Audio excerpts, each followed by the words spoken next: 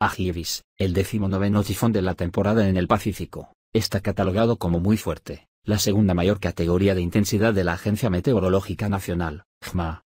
Tokio se prepara para el poderoso meteoro, calles con pocos movimientos, lluvias intermitentes, el transporte público casi sin personas y la mayoría de los vuelos cancelados y reprogramados. Un panorama inusual a la que Tokio tiene acostumbrado al mundo. El tifón se desplaza a 30 km por hora hacia la península de Izu, al sudoeste de Tokio, donde se espera que toque tierra o al menos que pase cerca en las próximas horas.